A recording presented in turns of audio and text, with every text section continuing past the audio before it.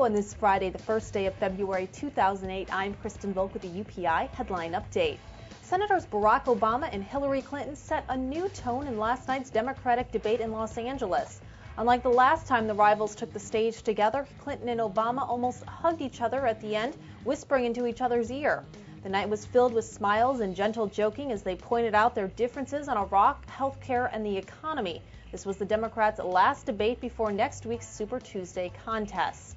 And Microsoft has made an unsolicited bid to buy the internet search engine Yahoo for nearly $45 billion. The world's biggest software maker is hoping that such a deal would challenge Google's lead in internet search services and advertising.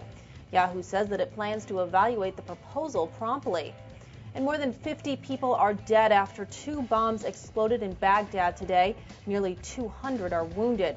It was the worst attack in the Iraqi capital for many months. Iraqi officials say two mentally disabled women were strapped with explosives and blown up by remote control in busy Baghdad markets. The U.S. military is blaming the bombings on Al Qaeda in Iraq.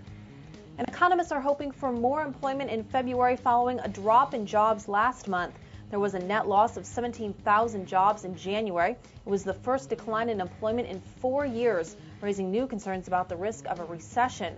However, the drop was based on a preliminary reading, which could be revised later.